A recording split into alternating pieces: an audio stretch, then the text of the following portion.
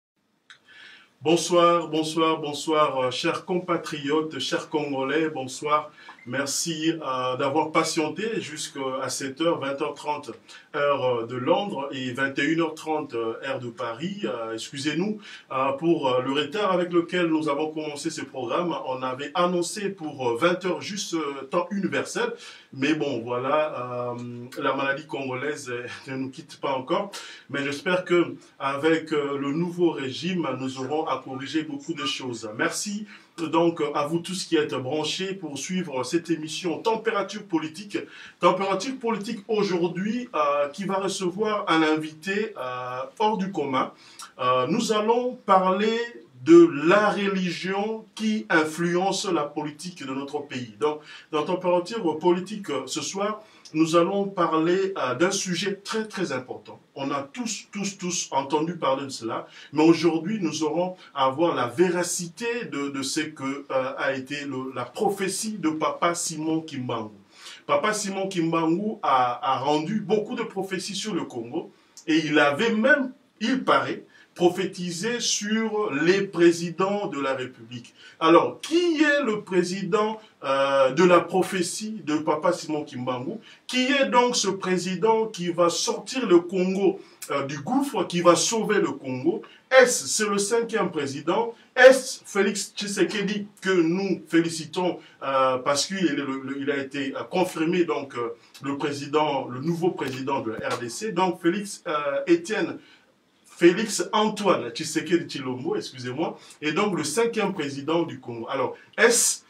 c'est Félix euh, Tshisekedi, euh, le président de la prophétie de Papa Simon Kimbangu. C'est ce que nous allons vérifier ce soir et nous avons le réel plaisir euh, de recevoir le pasteur de l'église kimbangiste ici en, en Grande-Bretagne, c'est le pasteur Jean-Pierre Kalonga. Bandeko, merci à euh, Obozota biso na instant Oyo, bo mekako partager emission bobenga benga bandeko mpo tozosola makambo ya mboka température politique ebandi makambo ya mboka ebandi nous tozo félicité président euh, félix euh, tshisekedi nde akomi cinquième président mais tozali na prophétie oyo il paraît etambolaka na congo oyo congo basi basaka baloba makambo ya congo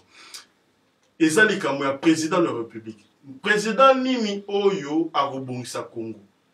Est-ce Félix Tshisekedi azali président ya, pro, ya prophétie C'était le cinquième, le quatrième, le troisième, le sixième, on ne sait pas. Alors, mpo na tokende badiscussion ebele ebele te mpo fo totalaka temps totalaka temps toyebaka ce que adi baprophète mpo na mboka na biso alors papa simon kimbangu a dit des choses sur le congo il paraît alors ce soir dans température politique Tokoyeba nini papa Simon kimbangu alobaki mpo na Congo? President nini oyo papa Simon kimbangu alobaki ke ye nde moto akobongisa Congo? Alors mpo na yango nga naza kimbanguiste te, je suis qu'un simple euh, présentateur, c'est le papa Paul premier figure emblématique Popol Mukelenge Fumukoy, mais j'ai comme invité la bouche autorisée, donc si je peux dire ainsi, de l'église kimbanguiste, ce qui n'est autre que le pasteur Jean-Pierre Kalonga. eh, na eglise kimangiste mpe baza na bapaster donc lelo tozoyamba pasteur ya eglise kimangiste awa na grande bretagne mpo ayebisa biso sikoyo baverité yango eza mpenza nini prophesie eloba nini cinquième président oyo toza na ye papa kimbangu aloba nini alors avant tokɔta na mozindo na présente bino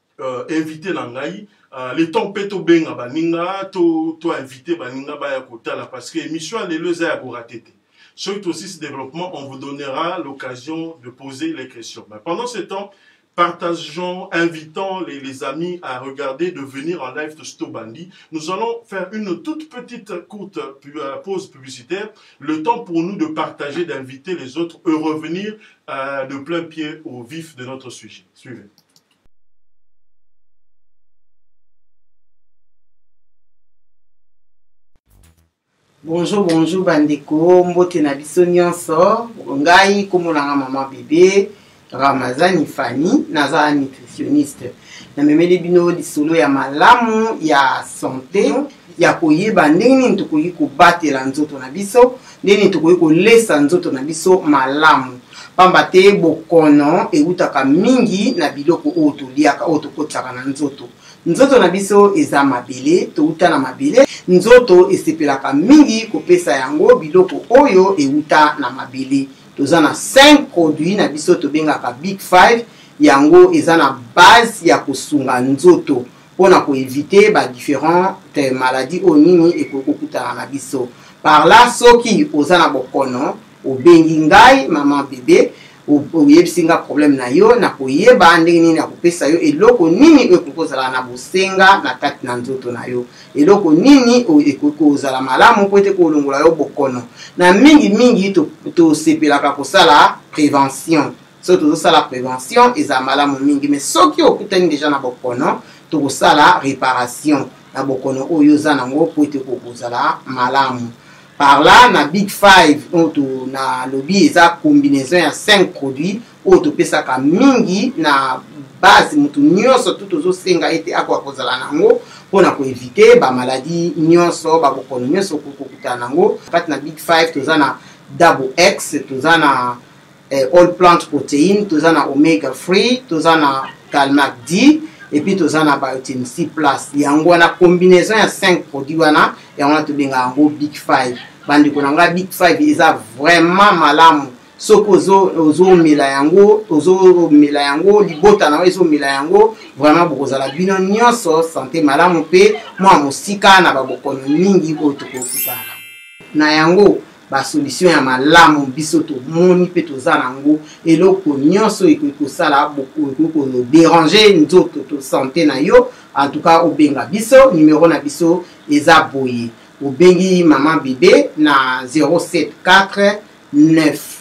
20 48 568 na bande lisusu numero na nga ezali 074 920 48 568 soki obengi nga wana okozwa nga na aire nyonso oyo osepeli kobenga nga en tout cas toza wana mpona kopesa basolution na bokono oyo ekoki kotungisa biso pour toutes les personnes ayant des problèmes de santé de maladies cardiovasculaires ou autres telles que l'hypertension le diabète l'asthme le fibrone un taux de cholestérol élevé un cancer Contactez Maman Bébé Ramazani pour réparation à bas prix et à court terme. Merci de votre confiance et à très bientôt. Voilà, voilà, chers amis, donc euh, merci d'être présents. En tout cas, to temps na meka invité bandeko euh, température politique et bandi euh, et comme je vous ai dit, comme vous êtes en train de remarquer, je pense Euh, nous avons notre invité, l'invité de ce soir, il s'agit du pasteur euh, Jean-Pierre Kalonga. Bonsoir pasteur. Bonsoir. Euh, Ouais, voilà. Alors, on a présenté en tant que pasteur, il y a église kimbanguiste. Bon, na yebi pendate, soki bino bozala ba archibishop, eh, ba nini na yebi te. Alors, soki okoki kotala bandeko bazotala biso, on s'est présenté vraiment en long et en large soki oza penza nani bayeba.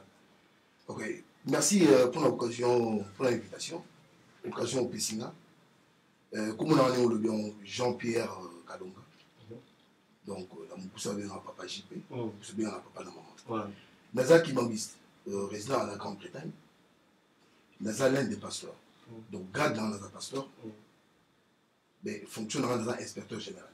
biso epai na biso toza ba archibishop te ba chevet non toza na ba inspecteur généraux toza ba conseiller toza na ba premier et puis deuxième suppléant après euh, chef spirituel bon ben ndenge olobi naza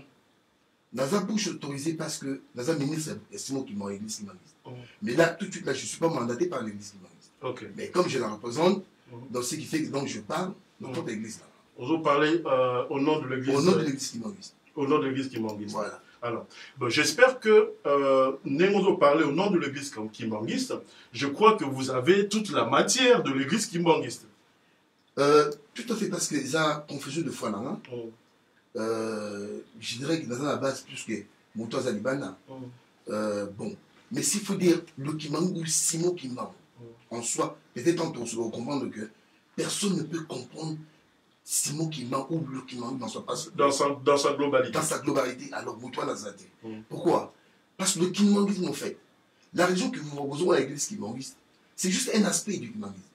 kimbanguiste yango moko eza toute une civilisation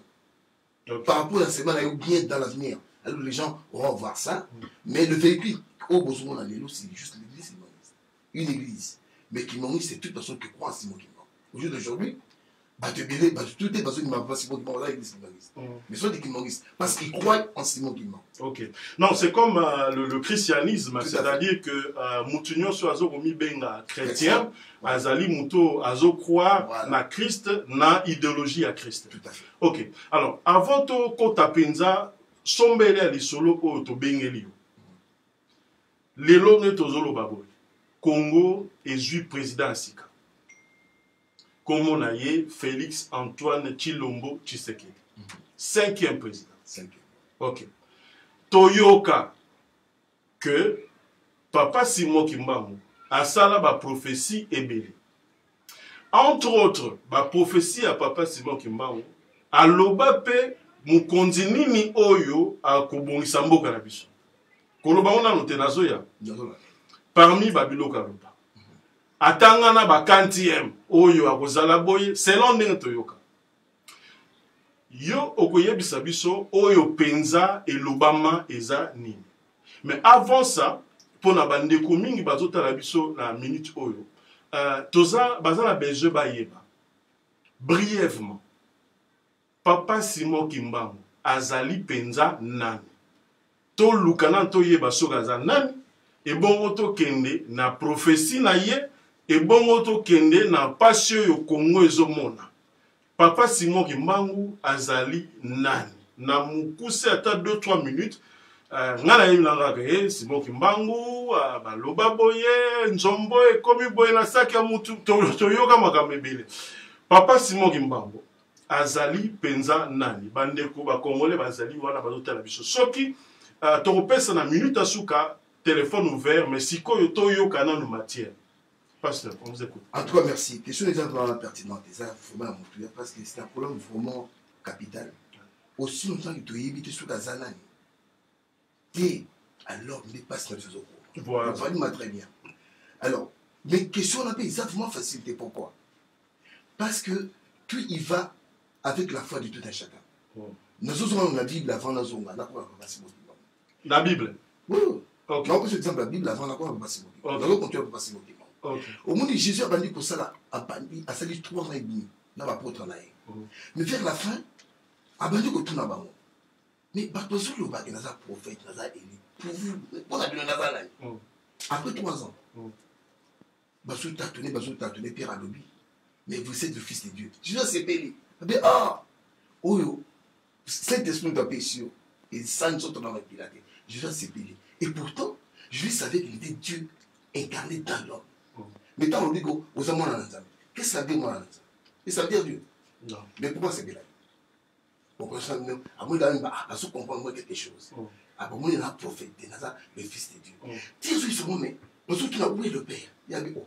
ntango nabenga bino bokomande te père na soki naza nani oh. il veut leur dire indirectement mais pourquoi jésus avait du mal à leur dire directement que nga naza nzambe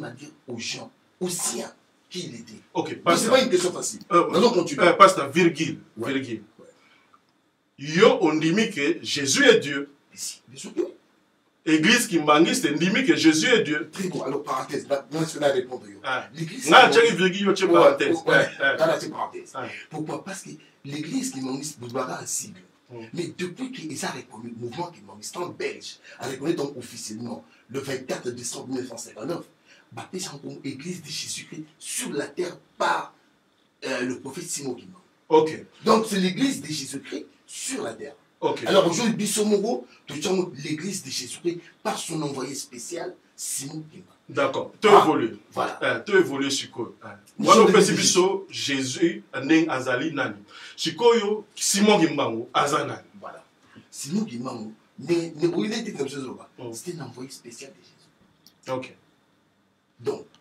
mpo na koleve equivoque moko il y a certaines personnes c'est vrai nde na bi jésus babengi fils ebi asepeli soki mpasi mokoma prophète c'est pas mauvais soki obengi mpuluzi ndenge olingi c'est pas mauvais ça dépend de ta croyance omoi ozokwanga ye mais tant tokosula mozindo ya la personne et l'œuvre de papa simokema alors ngai soki nakotuna bato na makambo otuna alobi mpo na bino simokema wana wana otuna bato basuka ah,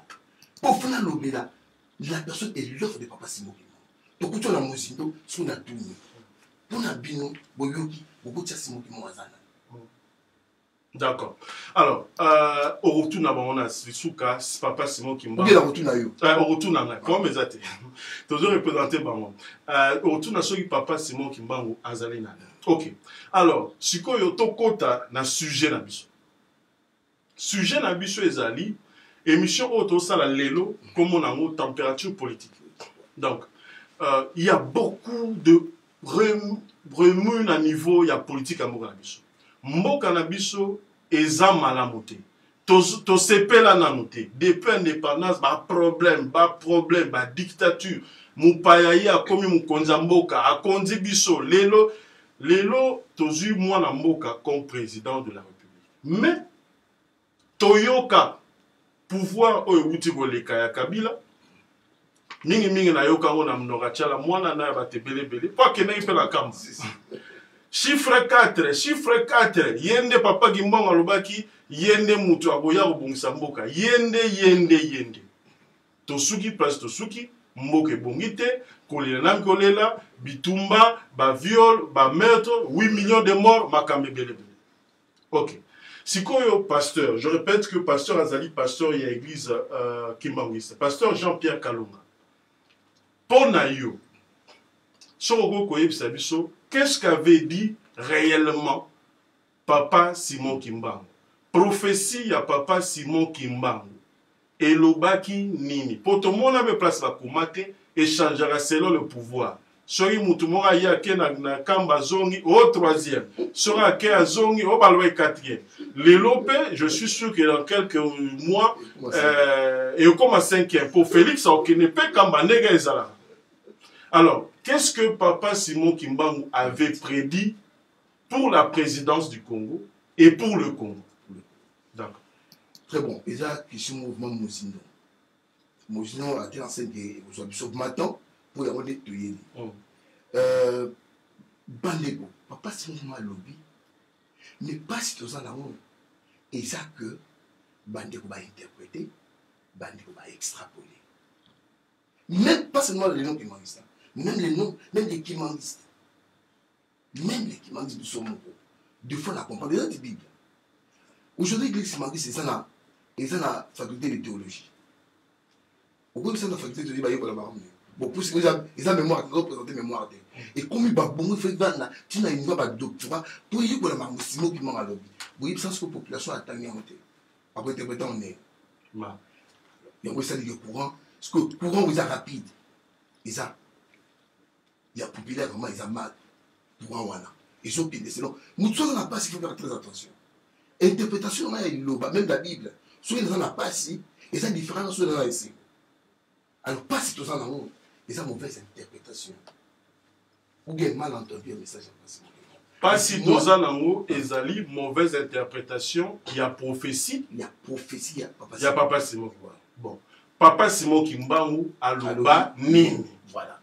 soko oloba mwa makasi nakoloba ok vraiment bandeko boyebisaka peut-être voi na ngai ekozala na se omoni tout à l'heure otolobaki bakoma nulle part te normalement après arrestation ya motu juridiquement après 70 ans faut apesa bino biloko tout oyo bazwaki mpona de peur que vengeance ezala bato babebaki yango mais malheureusement babelge bazwa peu près 3 quarts ya baepi ya bapasi mokimbango 70 ans après bazongisango te ti lelo bazongisa te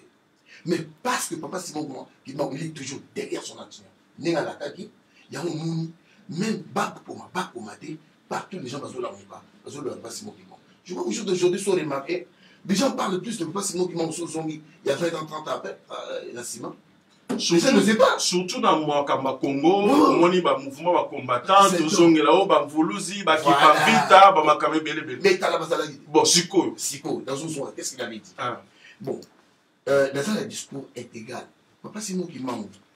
na na bala mokela papa simo koma normal bandi mosala na ye ministère le 6 avril 1921 tokomi le 6 juin 1921 baye bakanga ye na babelge la complicité ya bacatholique et puis bato ya mboka parce que pas le temps un an j'ai apparu bakanga ye mpe basina basimi fungwama il a disparu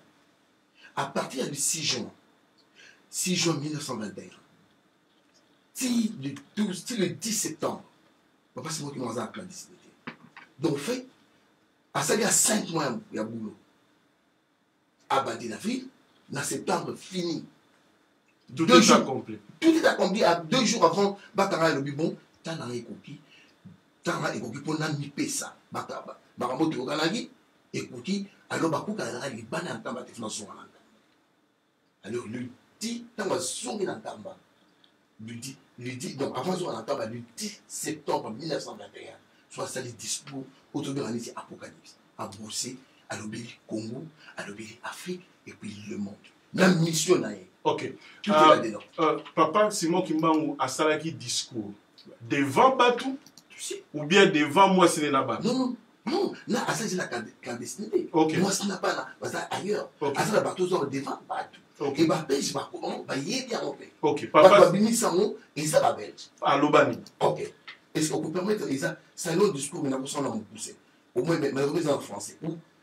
na expliquer kaka bo tapant ou je sais pas parce que ça va d'ici jusque là intégral okay. oyo okuta bato ok zela bandeko soki kamera ekoki kotala maloba oyo oh, papa simon, uh, simon kimbangu excusez-moi excusez-moi maloba oyo oh, papa simon aloba yango bakoma awa alors comme toza na télévision euh, et toza mpe na problème ya temps moyen totanga yango nyonso ezali te mais mais système ya preuve à l'appui tokozwa copie nango na prochaine émission tokotya yango alors lelo tokoyebisa kaka pasteur soki akoki euh, juste kopesa biso synthèse ya makambo aloba surtout oyo ezo koconcerne congo na makambo ya président ya mboka ah, d'accord okay. merci bazwa biso bon papa simo kimango normal le 10 septembre abandi koexplike bato alobi ke bon ntango na nga nakangama ekoki mondele akotya un long long silence na physique na nga mais na esprit yango akoka te alors mon esprit ekose mettre maintenant na kocombattre injustice oyo bato bayeli bible baye na ngambo landa bien mhm. abi physique na yango azokoba kosubeta na humiliation mais ezoba na epoque moko ya makambo moko terrible mais cestadire que mon esprit va se mettre maintenant au combat contre les injustices hein? mm. alobi que esprit ezo se mettre na combat mm. alobi moi j'ai envoyé pour libérer le peuple du congo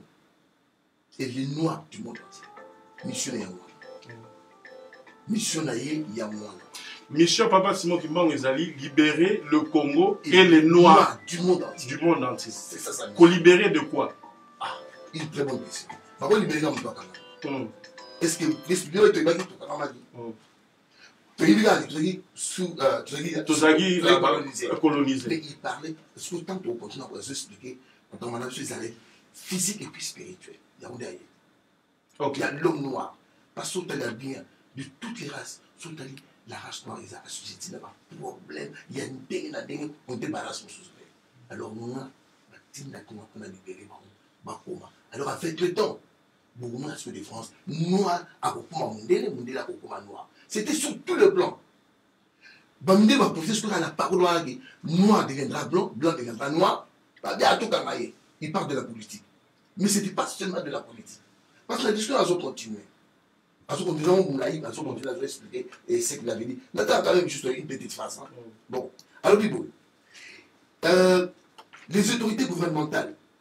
vont imposer à ma personne physique un très long silence, mais elles ne parviendront jamais à détruire l'œuvre que j'ai accomplie, car elle vient de notre Dieu le Père.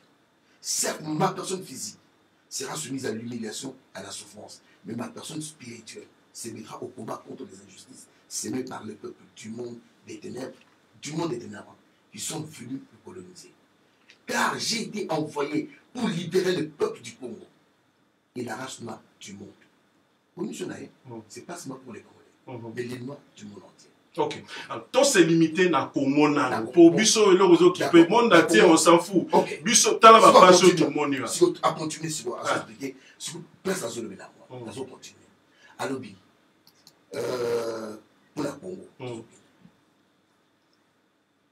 blanc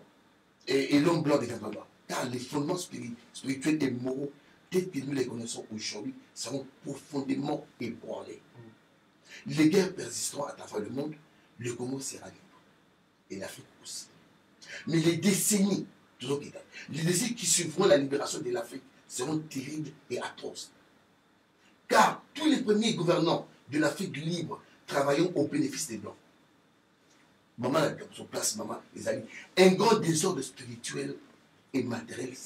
s'installera.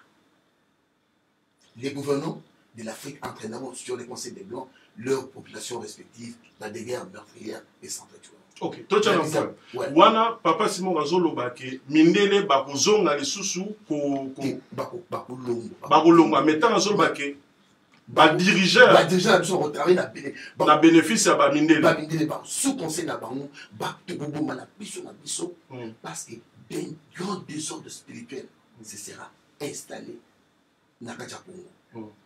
désordre spirituel quand on dit désordre spirituel yeba eza baconséquence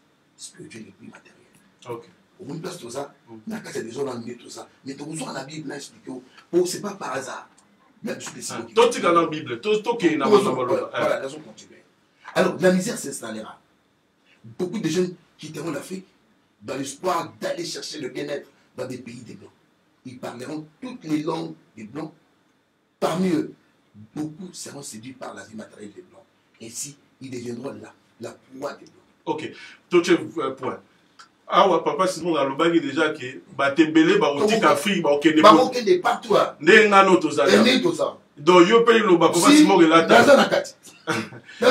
donc aprofite déjà ke tokokima afrique toya poto mpo na nzala toluka mpe matériel mpo dégâts de déjà tout sera détruit mm.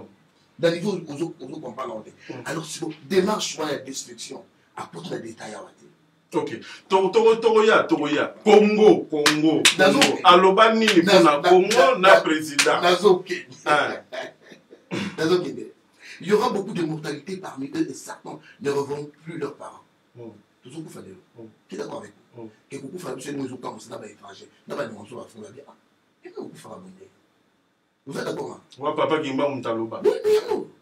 c'est depuis très longtemps mm. alobaki yango bon alors alobi alors ça comprira la troisième état dans celle-ci l'état un grand roi divin tant pas c'est pour autant ah non mais j'ai déjà constaté quelque part euh, bon faisons continuer alors on état un grand roi divin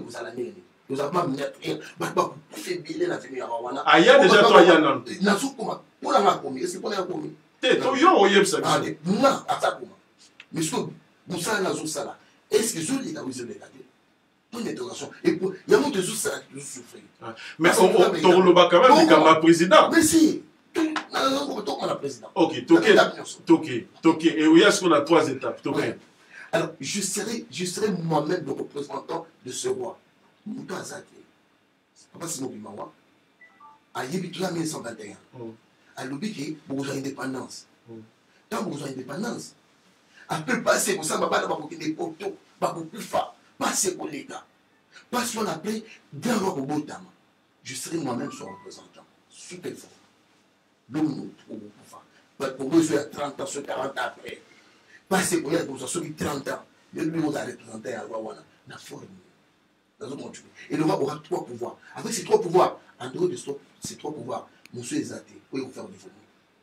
on vit que de ces trois pouvoir spirituel politique religieux oh. mais ya biforo wana ya nde kongo efa kali oh. alors ntango wana koya ayi moto akoza representant na ye etat de toutes les races oyo oh, je sort puisque etat du kongo te nazo continue akontinue alobi botanga bible mais akomi quelque part alobi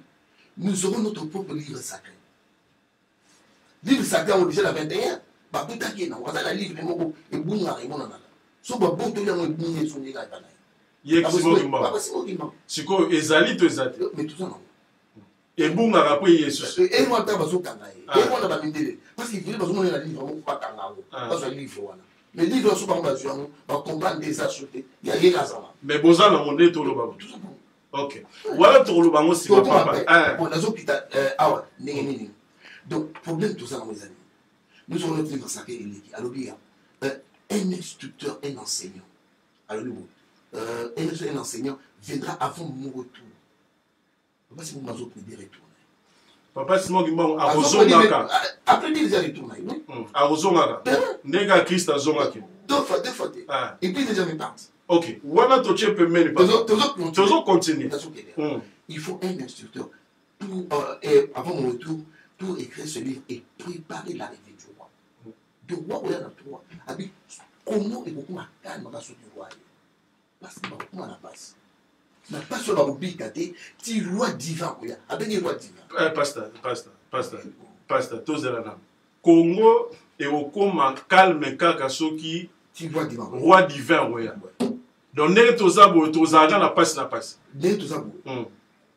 soki zwa divin mm. aye nanu te mm. ti tozala na kasi tozala tozokufa ya balobi bazosuki badetail na ye eloko nini akoakompagne venu na ye mm. liwa ekozala ya kosala te alors soki liwa esalami loseka ye ok mpasa ya bulo sikoyo asi aya to aya te ah. bato nyonso bakufi na est ekoki te omoni so okomi wana ezosala basi pesa nga en tant que motu hmm. nakondima te kamina mwana basi nakufa mais nazokufa nazomonaka e nazokote qu'est-ce qui se passe babaki ah, bato bakokufa eza bakoza boto ezala na koza mais malgré alobi alobi donc les salaires du péché c'est la mort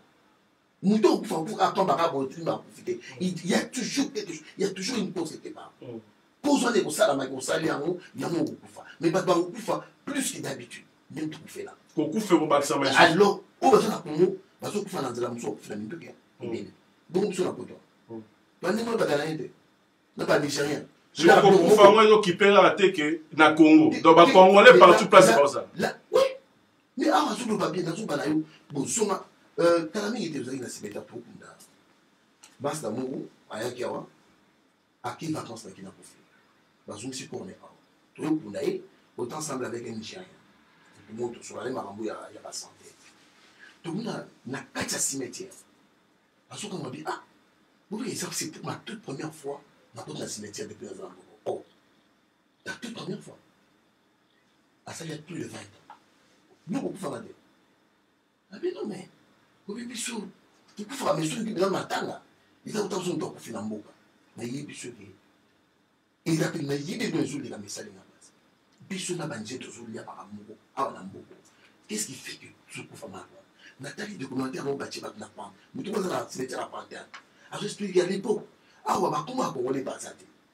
ezalaki te mais na lelo plein bakumba congolais et c'est partout en europe lelo nde tozwa babobimeme boni tokubiasi na wana maloba papa simon kalobaki ah, mpo na biso mpo na bakongolais hmm. bakongolais bakokufa tokokufa donc venu ya roi ekozala merkier baexplike te na monduki na maladi na lisasi obe na molimo bao mais olobaki ya moto akufi oavesake toza susu mosika ya venu ya roi yango non mais moi je dis biloko asaya asaya mpo na yo alors okoexplike biso soki roi asi aya mpo toyeba mais tokende siko na likambo ya président ozokende ya président hmm. omoni mpasi moki longtemps asali discours hmm. euh, aexplikaki en détail hmm. awa aexplikaki en détail bapremier président deuxième troisième awa eza na 18 septembre Alors, tant que commis, le 17 juin, je crois, si je ne m'abuse pas, le 17 juin 1922, bah, na kisa tous ba toi ba ba prêtre ya kisa ba yeko mona hein ba yeko tuna sur ma question non non le 12 le, le 17 août voilà 1922 na kisa bitu ba yeko mona hein ba ba kota kisa mais sur la forme interview ba mona tuna mais nini nini ba kangi pona nini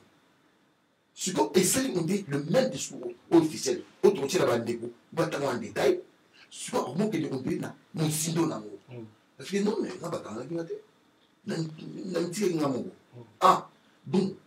eh, alobi siko donc bakangaki nga te epuis bato ozwa bakangaki nga bakokima mbango parce que kozwa indépendance tokozwa tokozwa kongo kozwa première indépendance epuis deuxième indépendance ekomi na juin sikoyo août 2022 euh, non euh, 1922 akomisi kokota na mozindo ekongo ezala biso na deuxième indépendance première indépendance na bakolo deuxième indépendance ekozala ya baétranger oyo baya déjà avant baye kovanda epa na biso me kokenda bango ezala mpe mpasi me soki bakokende mpasi moke alors troisième fois discours oyo baye kokota ezali sikoyo euh, mwana mosala moko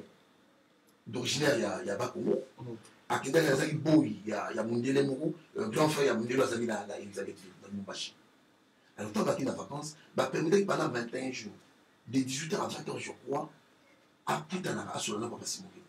c'est là ye mpe abandi kotuna baquestion basi momani koexplike oyo place azwaka to alobaki mambo ya première ya premier président deuxième troisième quatrième mm. alobi mama premier président de rien deuxième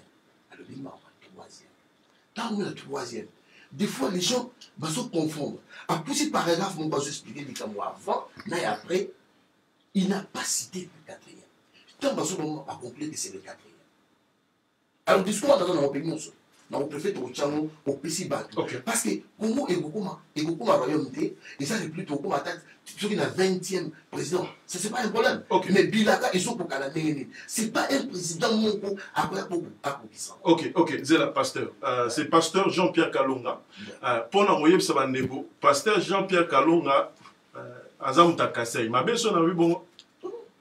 Ah, ma bête. Alors, pasteur, ah, pa, pa, pa, pa, pasteur Jean-Pierre Zamoulouba. Alors, nalobi boyo. Tokene malembe. Papa Simon Kimbangu alobaki likamba premier président. Oui. Azo expliquer na mutu wana. Azo expliquer mutu wana premier président akozala ba. Akoya aza le Mwanzambe. Hmm. Eh, mais akoumela te ipe bako bako bako posone akokende deuxième président eh, zela zela zela zela nga alingaka tokende méthodiquement ah. papa simoki mama abaki premier président mhm. akowumela te aza na elembo ya nzambe awumela te akokufa mhm. en sous-entend premier président na biso ezalaki joseph kasavubu bon awumelaki te bato ya bakongo bayebi ndenge esalaki ke voilà awumelaki te sikoyo deuxième président papa simon kimanga aloba nini alobaki akozala akozala jeune epuis akokweyisa ekonomi ya mboka euh, akocontinue donc pasi kosala bamakambo tu akomona mpe longtemps oyo akokende te me suka na ye akokende ok deuxième président euh, eh, deuxième président papa simon kimanga alobaki ke akozala jeune akokwesa ekonomi ya mboka akowumela ekozala mpasi mpo tolongola ye c'est un peu ça bon c'est vrai mobutu azwaki pouvoir très jeune et puis awumela ekonomi ti lelo makambo oyo tomonaka eza baconséquence ya uh, pouvoir ya mobutu bon alobaki mpo na troisième président bon mpo na troisième président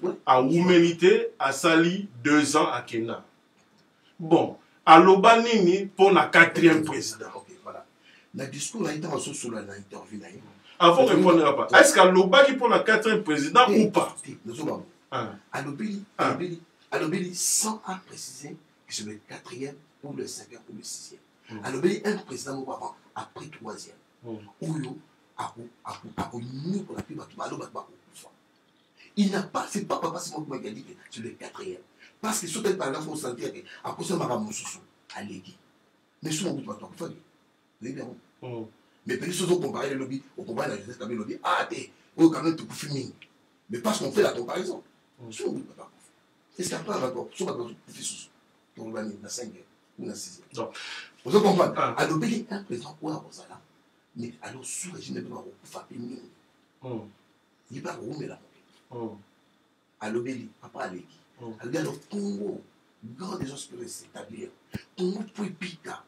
il faut kaka enseignant aya po aprépare bango na venu yango so président nini oyo akobongisa congo c'est pas papa simo alobi te ke président akobongisa congo congo ekobonga ye motu akobongisa congo oh. mais nalobi eh, euh, bolimbisa nga bandeko nazala nano nga moko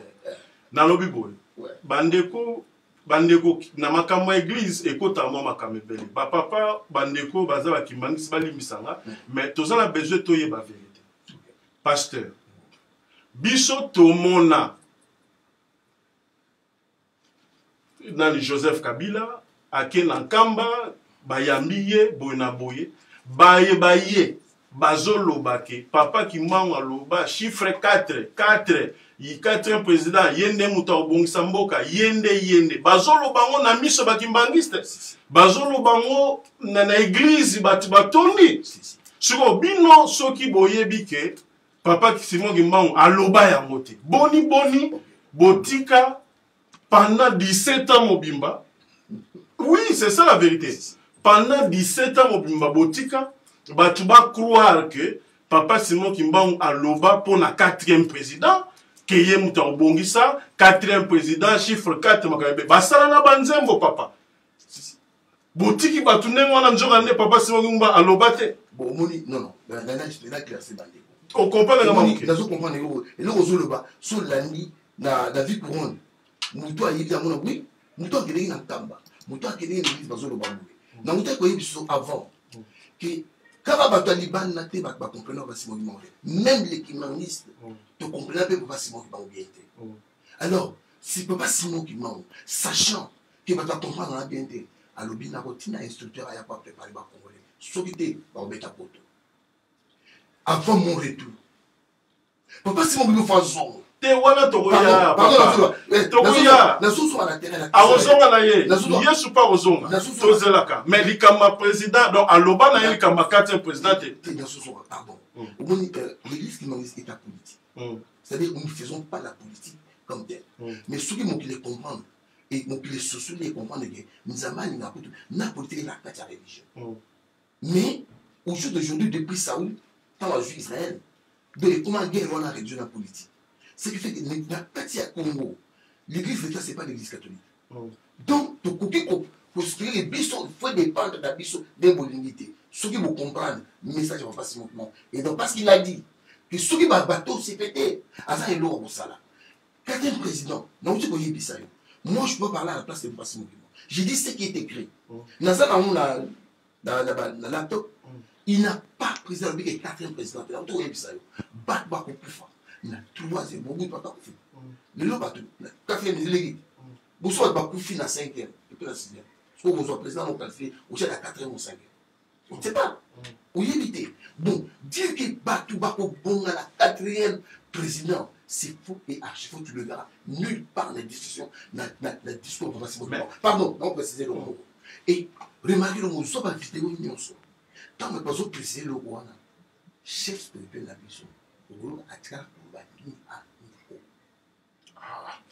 oyi mpo na nini mpo na nini parce que là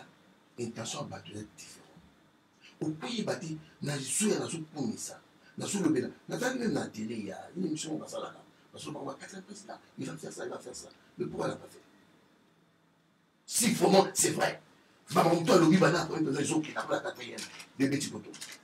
ah, Mais justement, c'est ça ma question. Ah, mais c'est, c'est, c'est, pasteur, pasteur, ouais, ouais, seconde. Ouais. C'est la crédibilité de l'église kimbanguiste qui est en jeu. Parce que vous avez laissé croire aux Congolais que Papa Simon Kimbanga Lobaki, quatrième président, ce qui peut-être, bah, Congolais Moussoussou,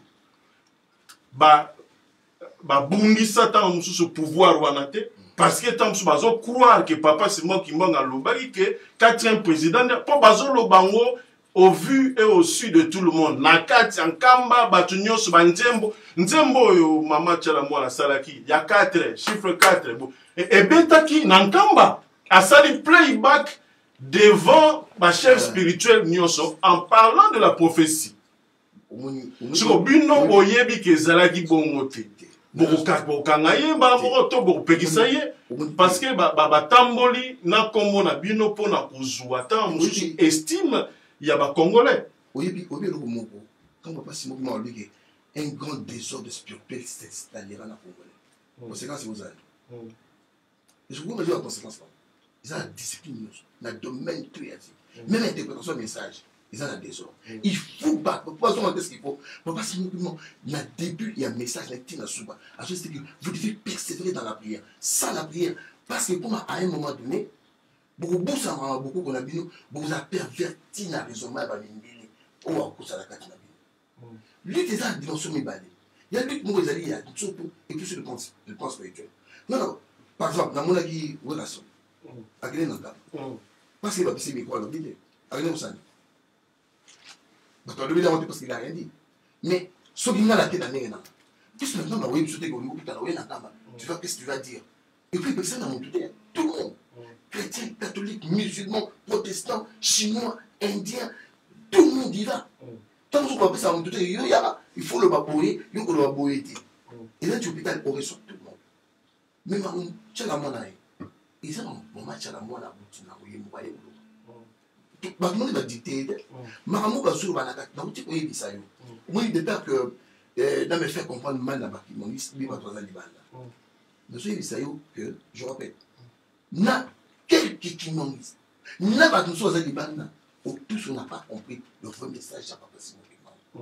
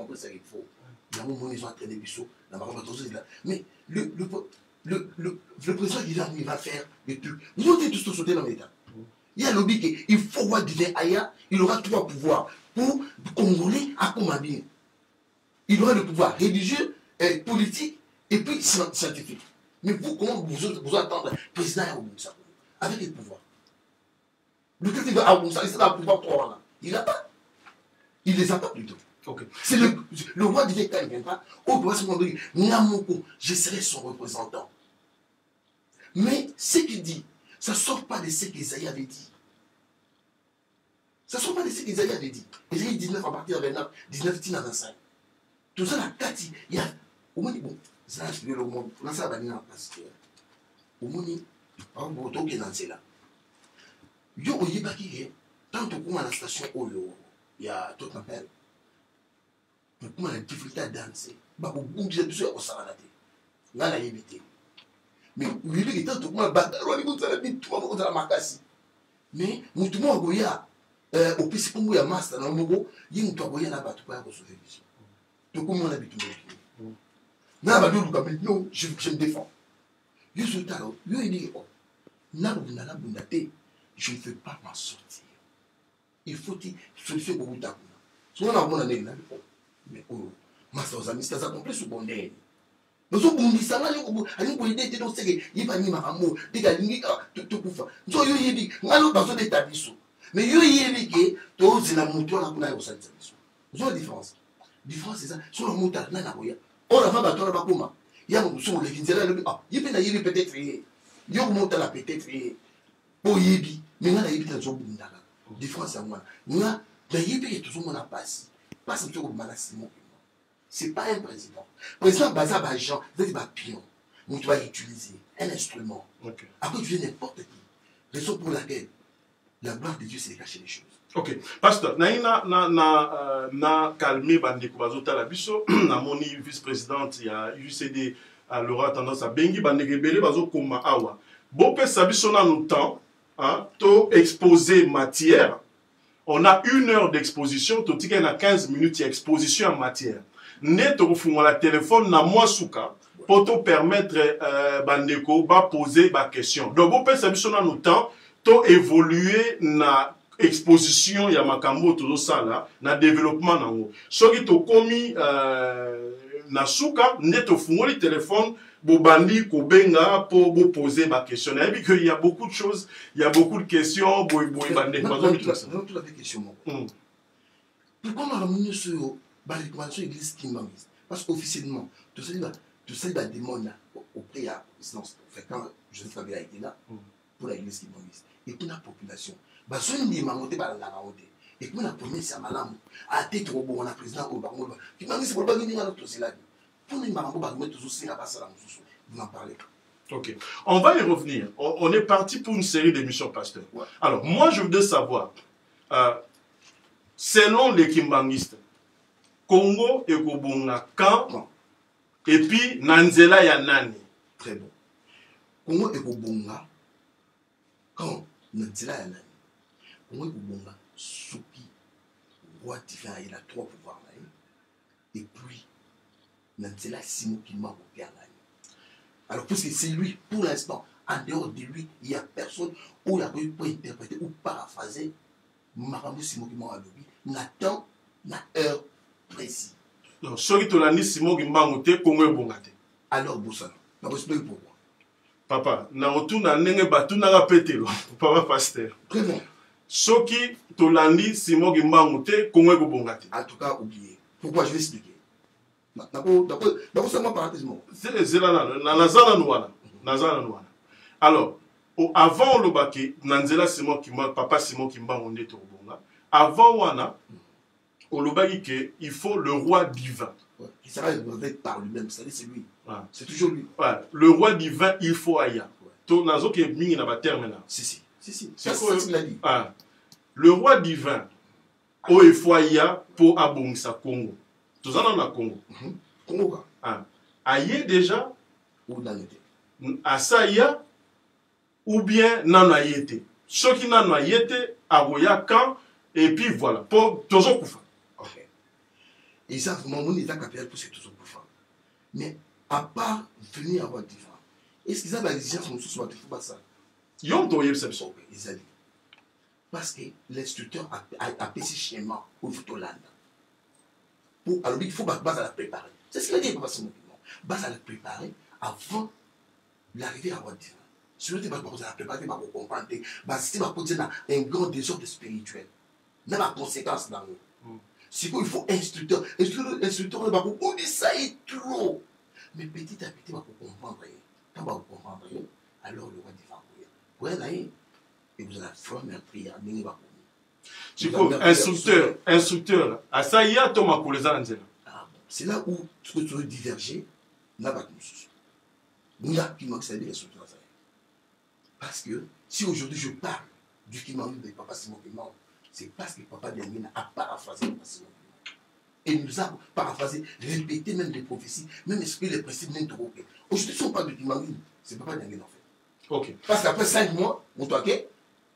On n'aurait même pas le temps de s'asseoir comme ça, de mettre solo ya Kimangis. Donc, sikoyo, selon yo, l'instructeur, c'est Papa Diangenda. Tout à fait. Ok. Bon, sikoyo, nini, il faut biso tosala, Congo esala, po tolongwa na bapasi oyo. Po tolongwa na bapasi toza nango. Euh, papa Simon Kimangis, il a bien dit. Abi bosambela. Moi, abi mission na nga, fina longola, de Congolais na pasi, na binaso baza nango. Moto ayebi procédure nango. Natala heure.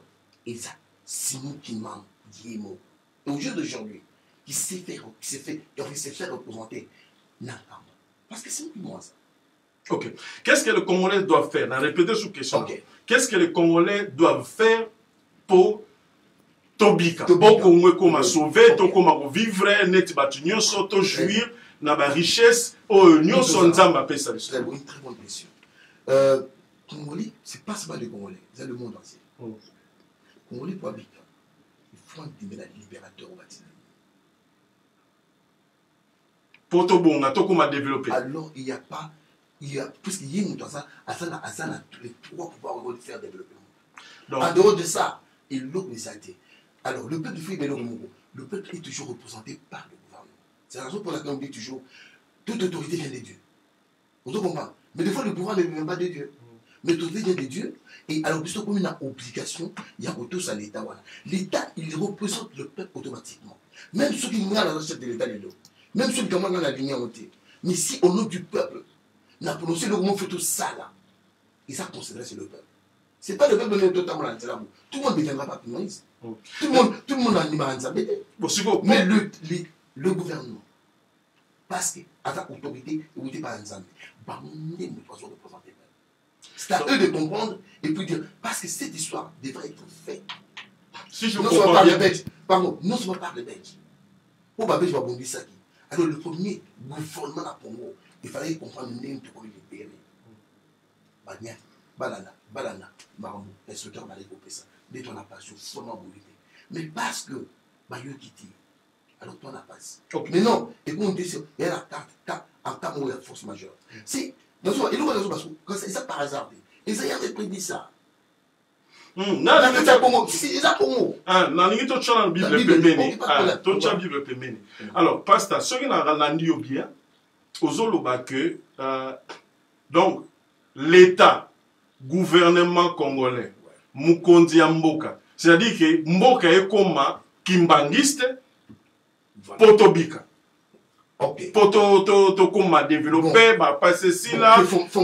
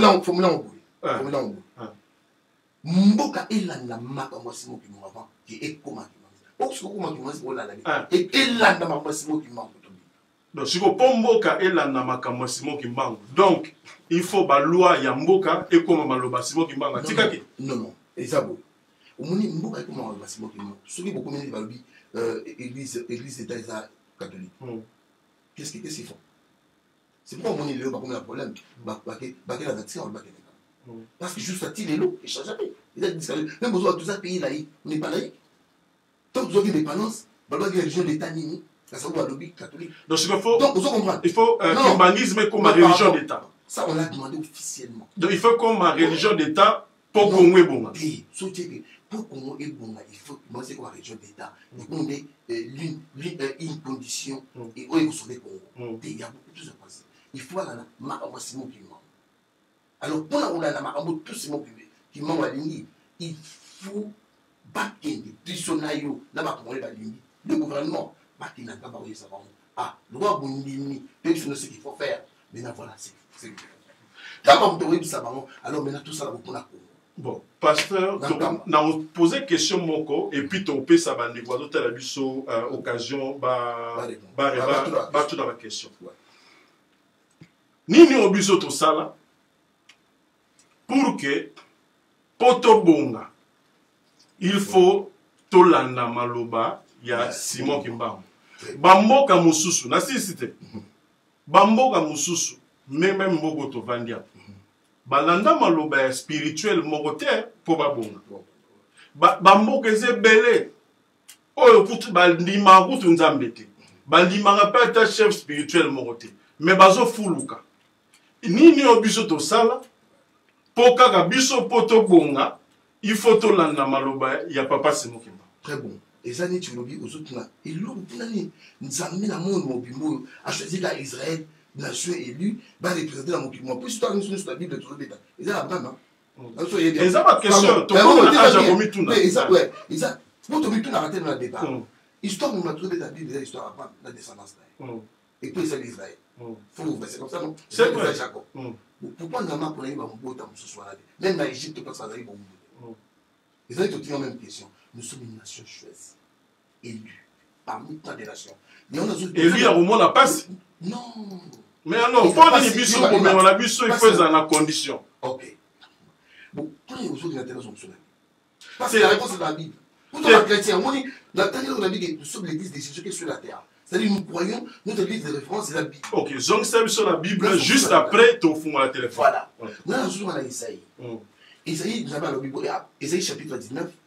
à partir ya 19 verset ti na 25 nzambe alobi ke tala bazomona mpasi nzambe azokende vers na katikati ya milieu ya pays d'egypte mpona bazomona mpasi bakotongeli temple kozala ntina ya référence te nzambe mpe ayoki bango atindeli bango sauveur et puis libérateur mm. ozolananga mm. quand on parle d'égypte dans la bible eza avant eza avant avant ancien testament avant tozala coloniser mm. c'était l'afrique on dit bien au milieu du pays des shit nzambe akoki te kuna akoyoka kolela na bango bakoma bato bakopesa ba offrande mais après nzambe akoshikote bango bible ezo explike mpo na nini nzambe akoshikote bakoshikote moto asala eloko te donc asala eloko moko akoshikote bango après nzambe akoya akopense baple na bango akosa siko na ore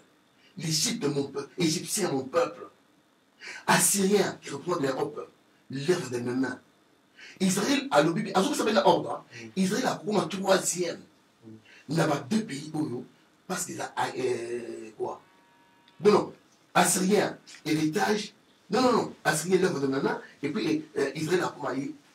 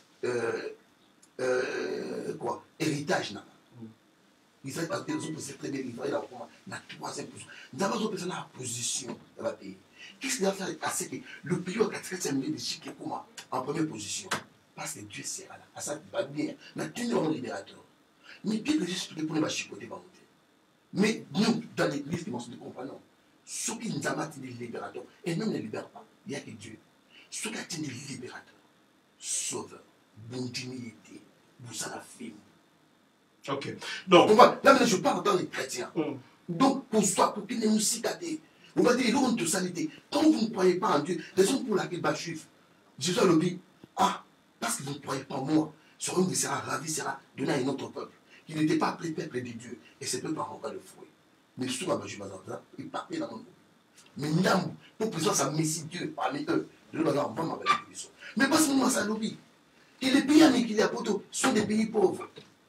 na fondement na ye kozala na à partir ya congo congo ekokoma ntango kimia ekoya ekokoma développe l'afrique kodépendre nango et puis le monde mikili ya poto ekozala souffrance biso nake bazofuluka bazofuluka te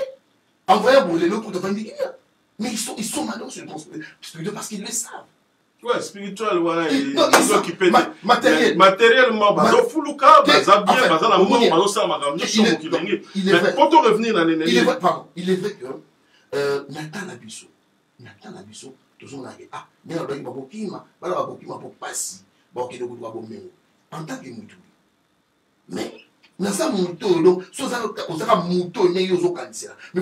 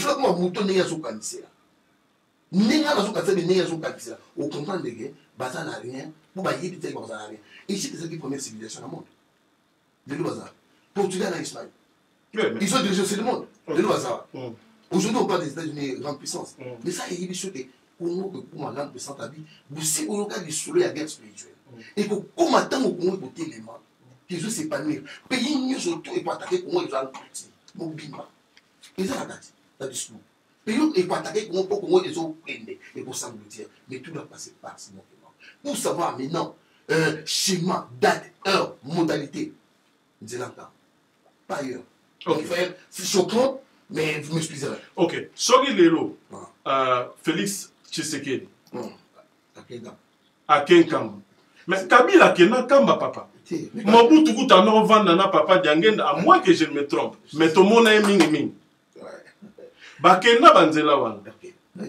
tobonga te pa sikoyo félix peut-être akoki koyoka biso soki ake nzela nkamba nde tobongi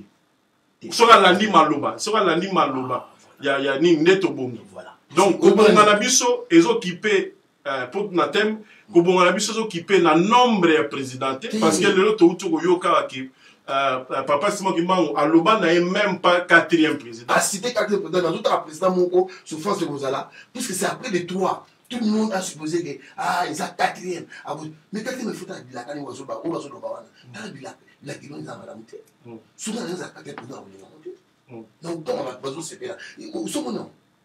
mais na na kopesa ngo tanga ngo eza neti olobi kito kotiela bandeko na biso mais mon frère kati mwana eza ya malamu te olinga ngo te moto kuta kolinga tozona kolinga te ezalaka bien parce que cinquième aloba te non non non akoma cinquième te complètement pas important ça ezali ke souffrance oza établi déjà po asilisango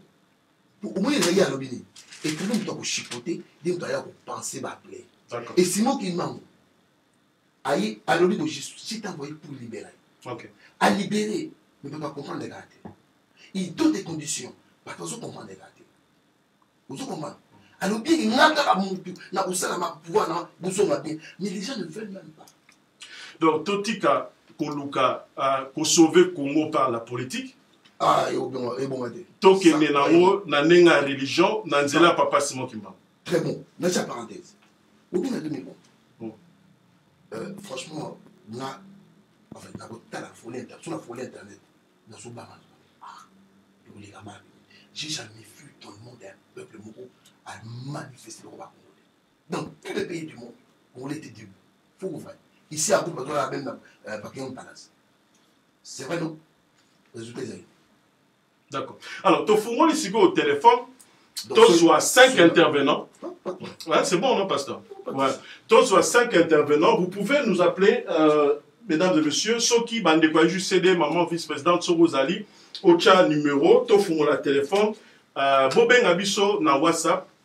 Awa ezali place ya batu ya mitu esalaka. Toza na besoin ya ba congolais intelligents, ba congolais debout. Donc soki tobengi ezali po toyeba un peu plus po topona ba totuna ba question pasteur apesa plus de précision po naza na ba question nyonso ya mokili te peut-être bino bato botala biso boza mpe na baquestion boza na bainterrogation ebele ebele bapréoccupation soki bokoki kobenga biso na minute oyo deux minutes maximum à, à chacun à chaque personne po to euh, topesa parole na motu nyonso nous avons le premier intervenant allo allo allo oui bonsoir euh, papa bonsoir. obengi na mboka nini nkombo nani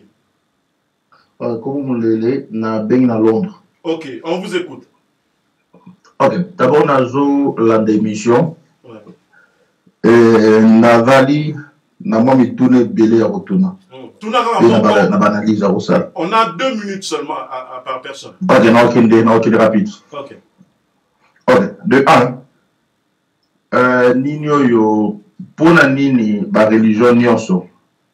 ya mokili ezalaka na balivre yango toza na ba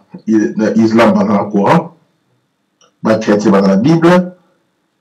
banani bajuif baza na torah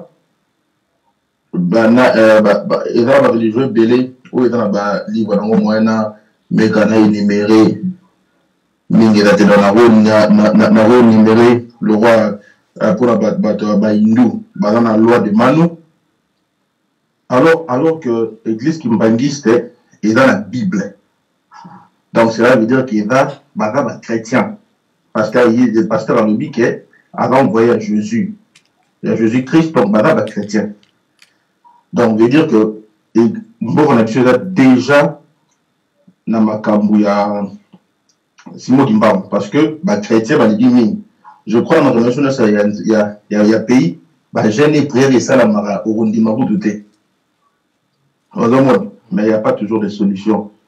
eza na mindele lokola baaméricain basambelaka trop dayango bajustifiaka baguerre na bango na, na bible je crois bakendaka liboso donc mpo na koyebisa pasteur eglise na biso etozaka deja na nini oyo na christianisme na kati oyo eh, eh, ndenge olobi na badire na osimo bibongo aza koprêche euh, donc mpo na ngai nazomona solution te notre problème eza plus na égoïsme nde moto eza problème na biso ça c'est un plus de deux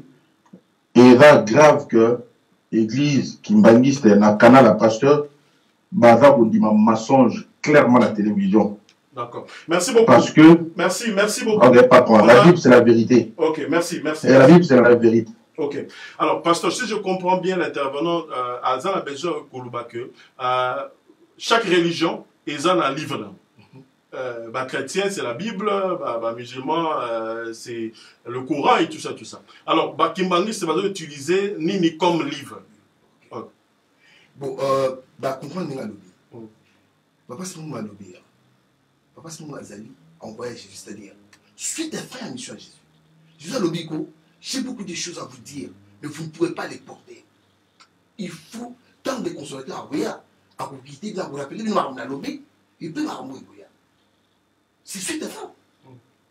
epuis alobi quelque part toza na livre na biso ezali ya kaka ya bato na discours wana eza na temps tokoutiliza na biso tuna nde bake bamoni baza loin na livre so babotoli yango ebunga raison aya epa na ye toza nango ya un temps sinon biso toza baegoïste te peut-être bato bakozala baegoïste bana balaa te fokama moto esa complet na tala biso esi makambo jizo alobi te siècle ne passera pas fin du monde evaese ya combien combien de siècle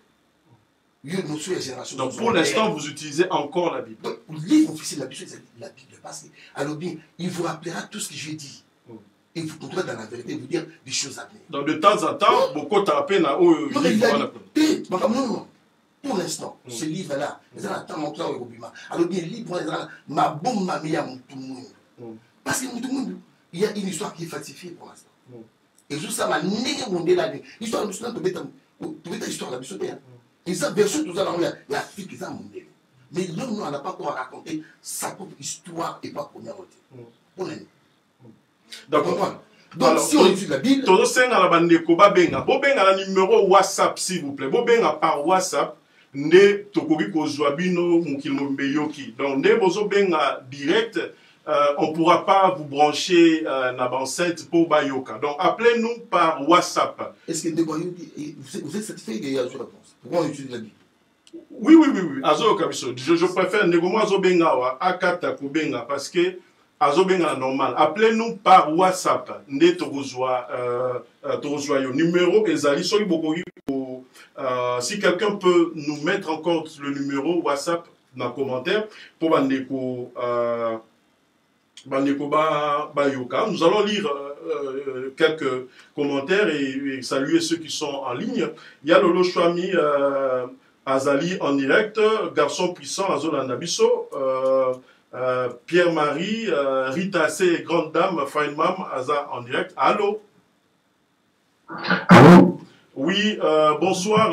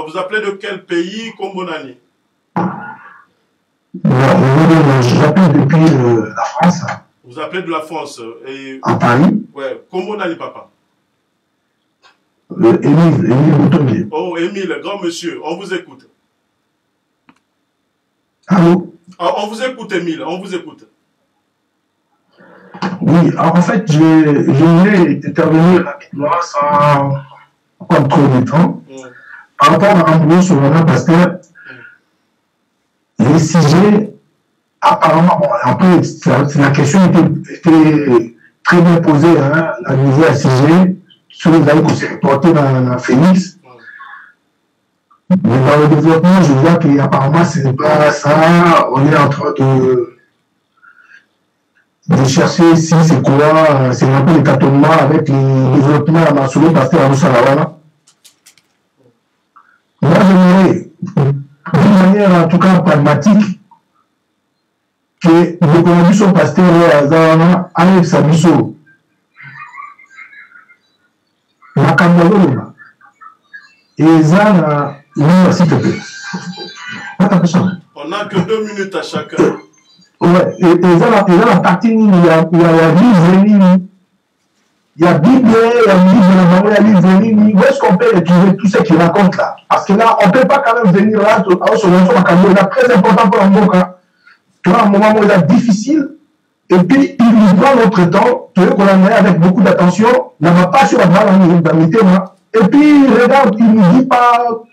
concrètement ce qu'il veut c'est quoi ba référence quoi alors expliquer biso eza wapi bon bref c'est un peu ça eza na livre nini na parti nini comme ça to vérifier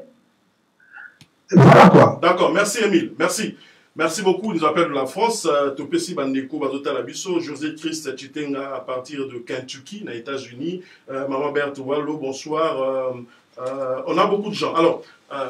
Makambu Ozoloba, ouais. biso na système après va l'appui, pasteur, et Vandi na Bible nini, et pardon, na la Bible, na livre nini, euh, où est-ce qu'on peut vérifier véracité ya Makambu Oyo, Oyo Zosala que euh,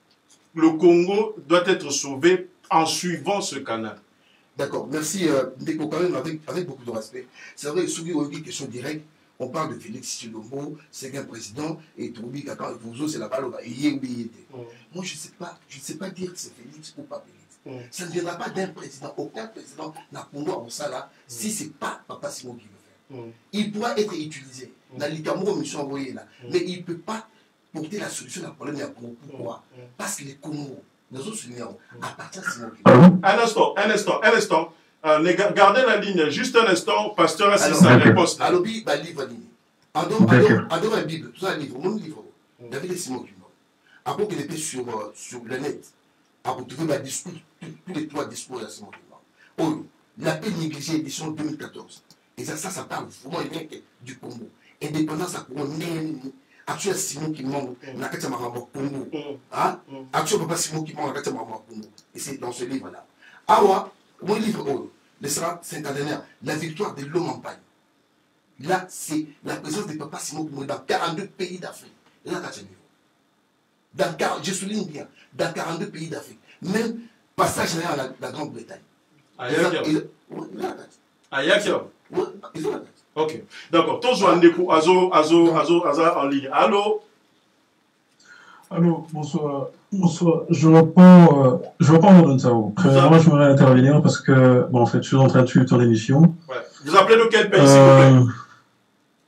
Je, je, je, je préfère taire ça, s'il vous plaît, si vous me me permettez, s'il vous plaît. En, fait, j'aimerais demander, monsieur, de nous dire clairement, est-ce que Simon Kimbangu,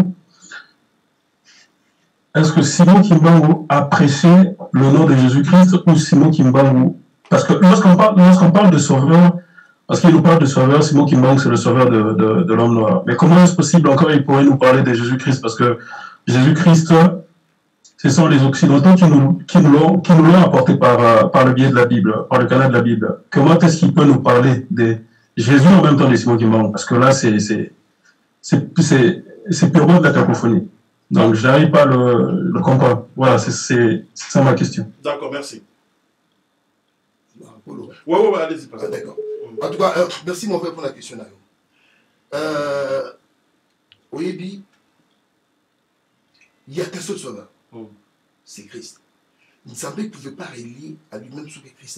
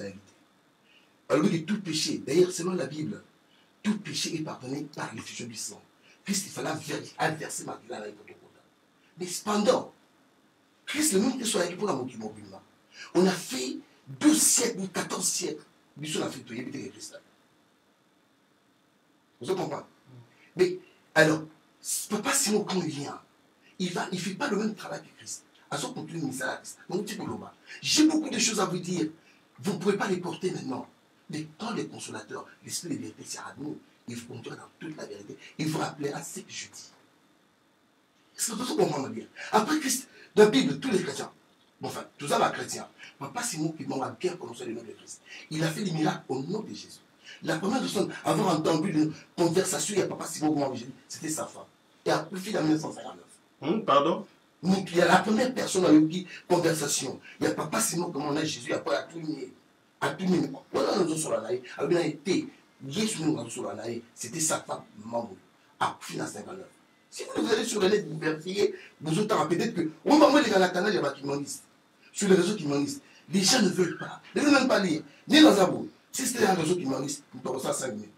ah ils disent rien ah, il fallait otoleka peut-être epa na yo bakoyoka mais vous allez sur la net badivio nazoloba mais ya tola bino l'indépendance du congo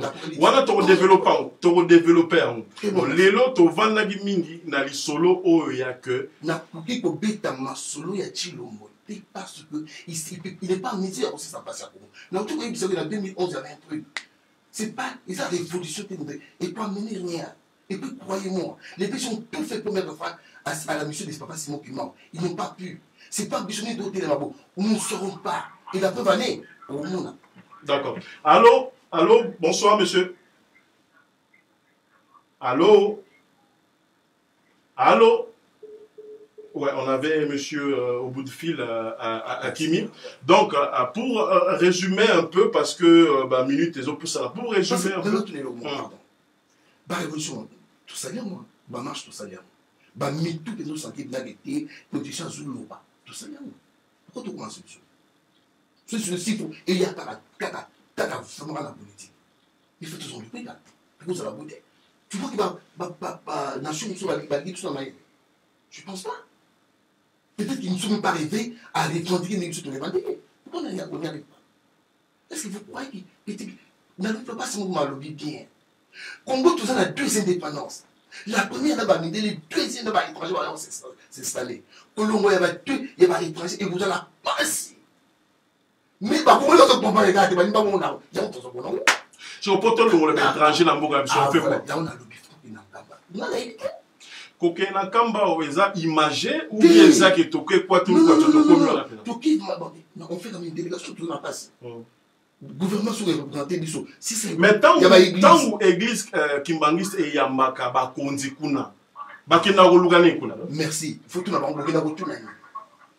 ntango bango bakendaka ntango bazongi ah. bayebisaka bino ke motu aye koluka nini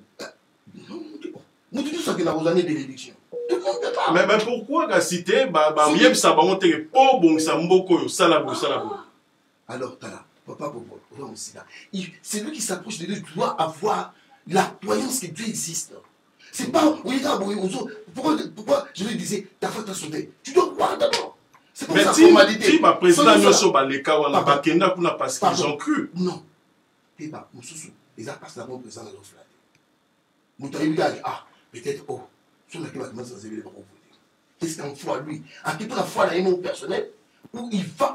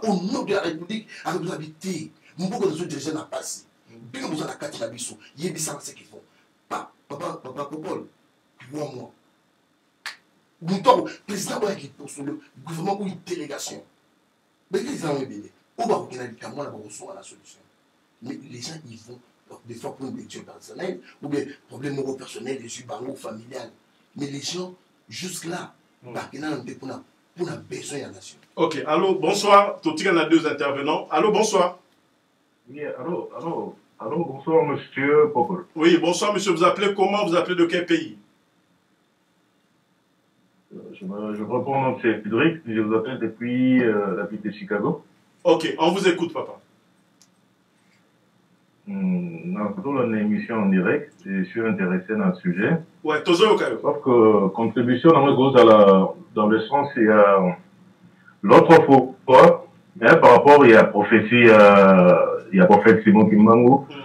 na makambo ezokoma na mboka euh, je crois bien na décembre awa nalandaki une intervention ya ya le comédien Kadiombo analyse moi androtala sur la prophétie ya Simon Kimbangu et ce qui m'avait intéressé ezalaki ezalaki ya koyoka explication ya, ya prophetie ya kimbangu par rapport ya baélection ba évidemment ya bato ba, ba bakodirige mboka or le message oyo ezala divulgue epai ya église ya kimbanguiste na oyo ye alandaki parce que selon euh, son intervention oyo alandaki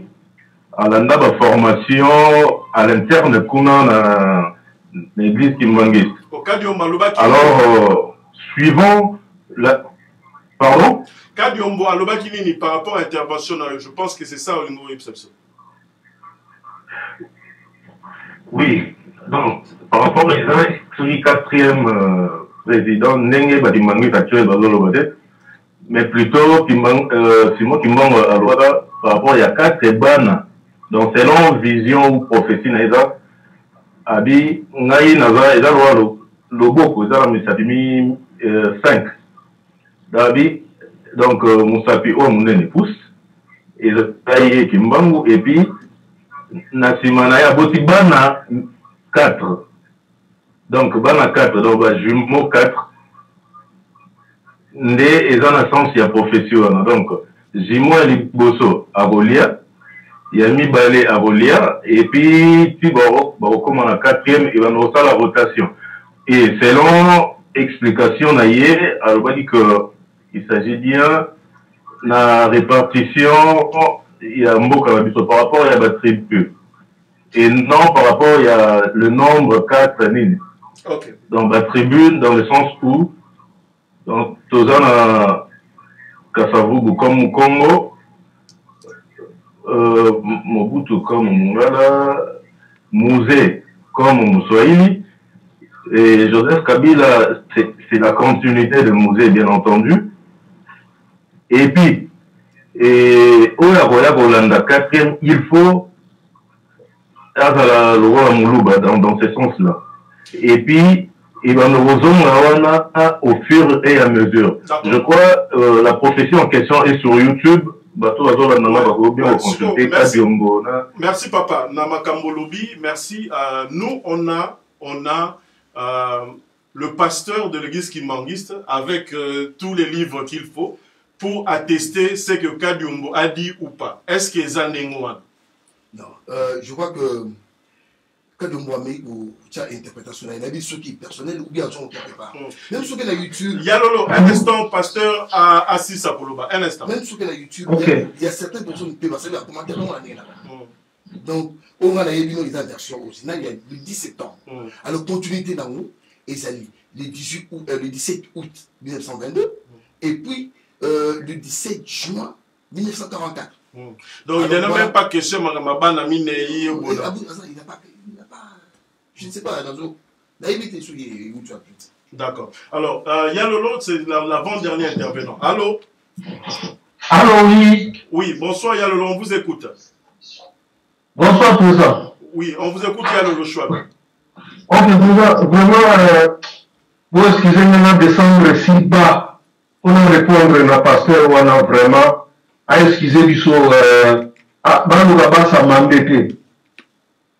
Mokili mobimba eyebi, Congo mobimba eyebi comment est-ce que ba kimbanguiste ils ont accompagne ba ba mabeya ya mboka wana.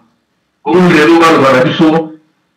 ke eh, kimbanguiste alobaki bolingo nord wana vraiment tokokroire yo te makambo nyonso obandi koloba bande bande obandaki ti sikoyo eloko moko malonga olobi te eh, parce vraiment excuse biso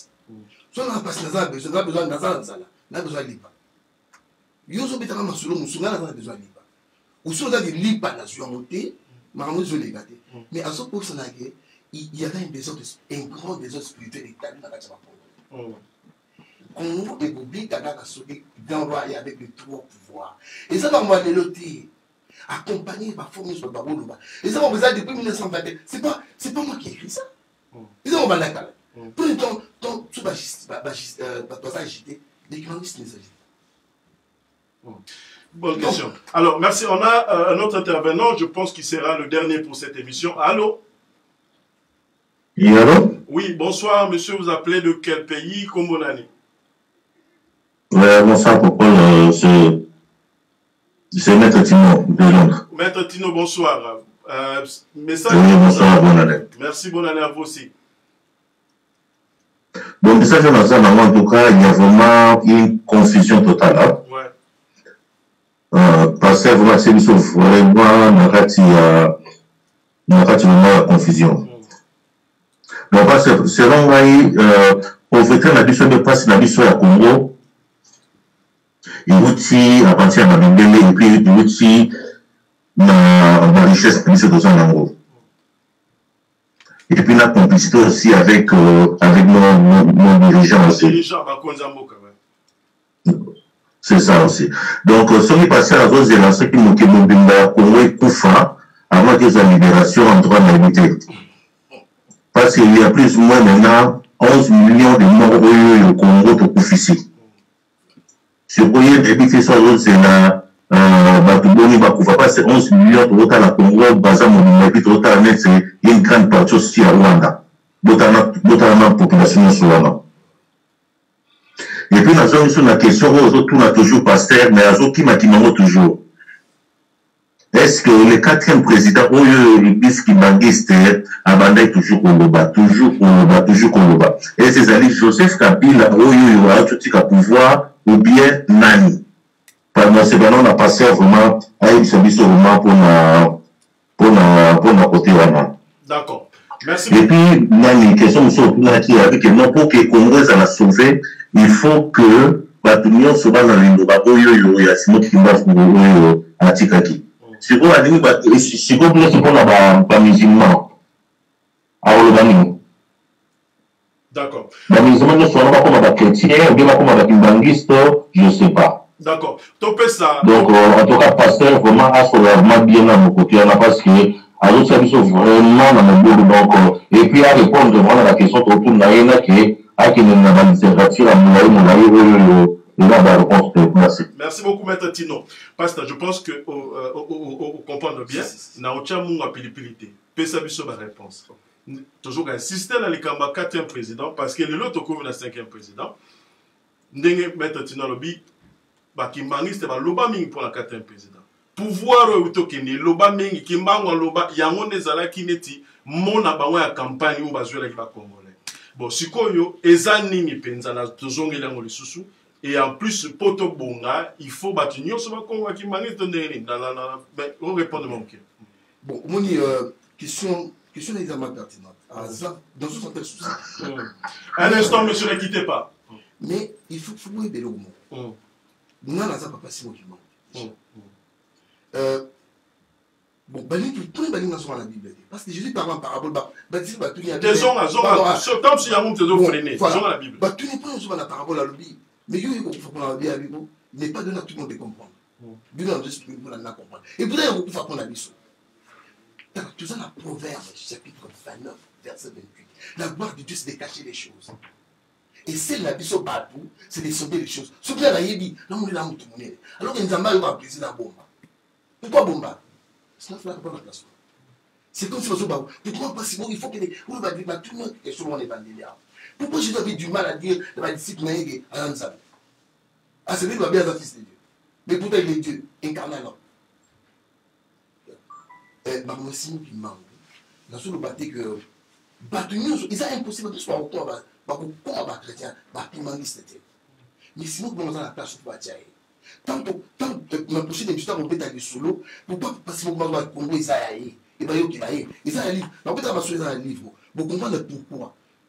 eza mipeza mina alobi kimaka motu bozoa na famille oyo bolalaka monga nazoloba puiske ayebi ke asombi eza famille na ye parcelle na ye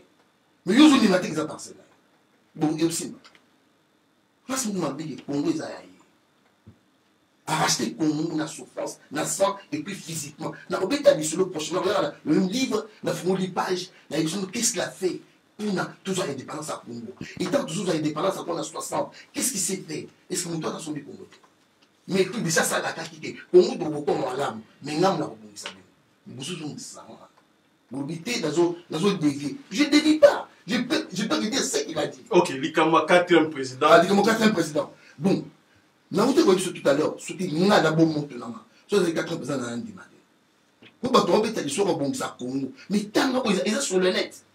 qu'est-ce qu'il a dit na président oyo na biso ke atangi troisième te abi président moko akoya boye akonyokola bato bakokufa bato babe aza quatrième mais so aza quatrième c'est très mauvais bon sikoyo nga na question nanga nazotuna nakolala te mpona ah, nini ntango bango bazolobaki papa kimbangu alobaki quatrième moto akobongisa congo quatrième boye na boye tout ça bino bovandi aussi longtemps boyebi ke bazoloba makambo ya lokuta na nkombo ya papa simo kimbangu okay. oui question yango eza vraiment makasi mpenza mosindo euh, kuna nde biso tovandi mais tovandi te papa te bovanda 17 ans papa nayoka te na interview ata moko ata ye na ndako bo tovandi bazoyoka te makambo azoloba nayoka te mpo nobengisaki nga te pala 17 mais nga nazwi contact no ya ah, merci na, na, oh, mais, mais, on... pasteur toza devant les hommes oh, merci combien de fois nga na insisté na yamba yo na émission ezorati combien de fois non mais c'est juste deux semaines là une semaine voyageaki deux semaines donc voyagé une semaine ouais semaine mosusu nga nazaki voilà parce que il y en a trop mais je l'ai fait parce que toyi tokoma na président sika tokomi déjà na président sika yango toyi toyeba prophétie elobi nini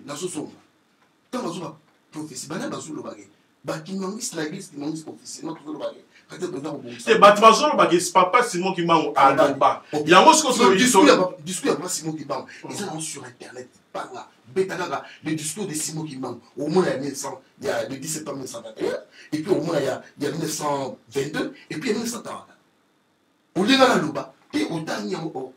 alobaki nde boye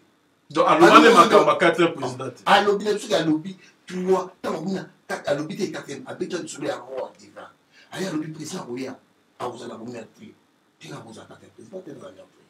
bon mpe bazokita lisolo wana ya kote ya mère na ye te bazokita lisolo wana kobongisa kongo lelo abongisi kongo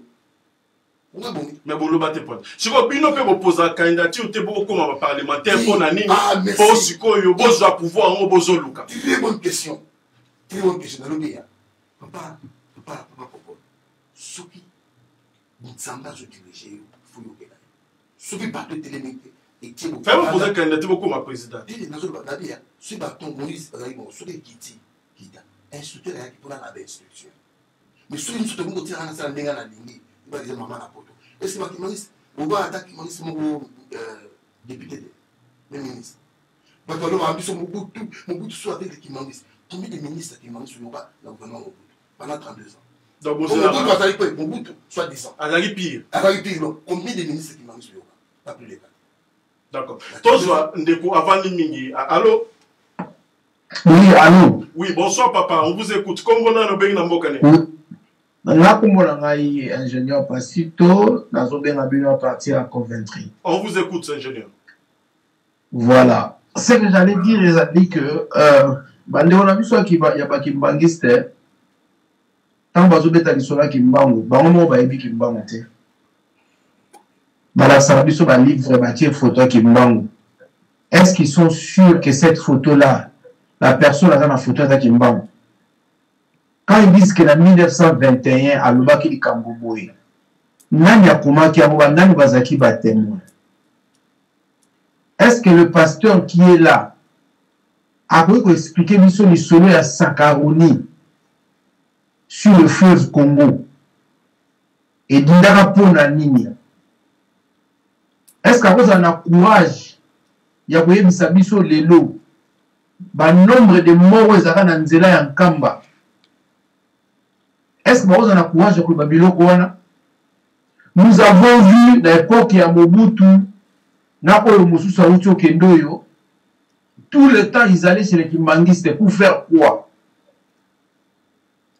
ntango bazobeta lisolo ya quatrième président mm. on ne parle pas na président ya moto on parle na république c'est-à-dire la première république la deuxième république c'est par rapport à la constitution soki bosali nini boabengi yango première république soki bozongi boye na rene ya 4e republique nde bokomona makambo oyo nzambe abongisi mpo na congo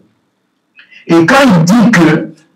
le congo ezali propriété ya kimbangu okokamwisanga papa oloba biloko ya ndenge wana bongo sikoyo senegal eza ya nani Ok, merci papa. Tolobaki deux minutes, deux minutes à, à, à, chaque personne. Merci papa. Euh, ma solo ya Sakaroni. Tobo maman pona. Ezali to ezali te. Tobo maman pona émission o ezoya. Euh, euh, omeka ko réagir moi muke na makambo nyoso euh, ndeko na biso. Un instant papa ne quittez pas. Il faut aussi cette émission pardon. Obi mon frère. Obi mo ebi mo sanga parce que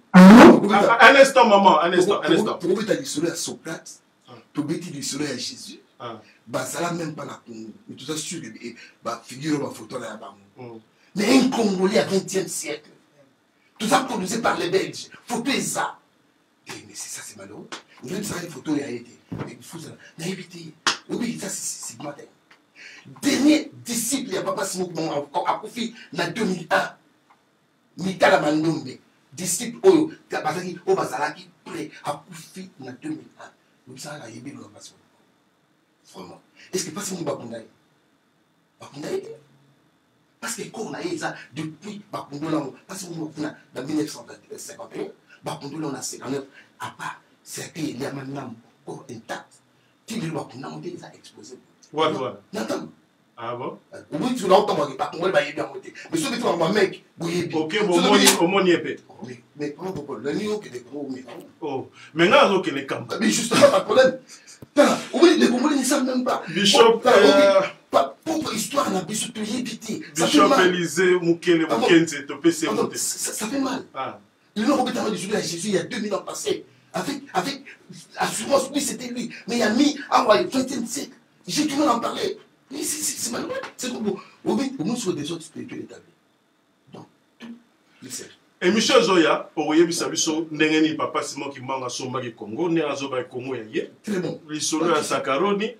Euh, na makambo ebele ebele ezali alors tozwi dernier intervenant vraiment lobi eza mosala papa simo kimomba alingi tokende mosala mpo kongo ebonga na nzela bwa ye allo bonsoir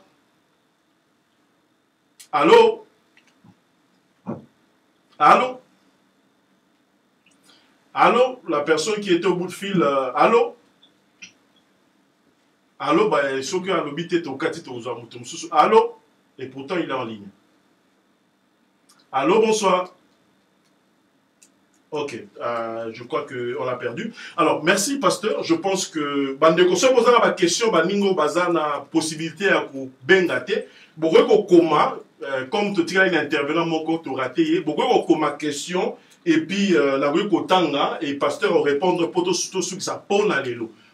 on va prendre le rendez-vous pour la dimanche prochain pour na komeka ko développer quand même euh, likambo oyo oyo ba congolais ba te surtout que pasteur alobi ke lobiko bwa congo eza na bokonzi oyo te mais eza na nzela ya maloba ya papa simon kimbangu donc inutile totala makambo ba président 4e 5e il faut nde tolanda ekozala ata ngai oyo soki kaka nalandi maloba ya papa simon kimbangu hmm. nabikisi kongo tozwi intervenant suka alo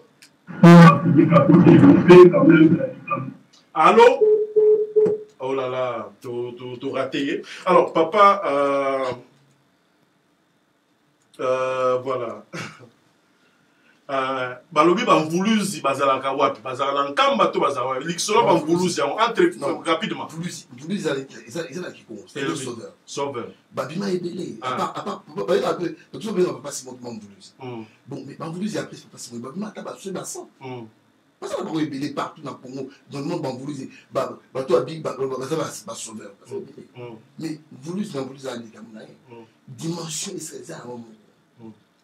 donc motu oyo ozoka nazobeta masolo na ye lelo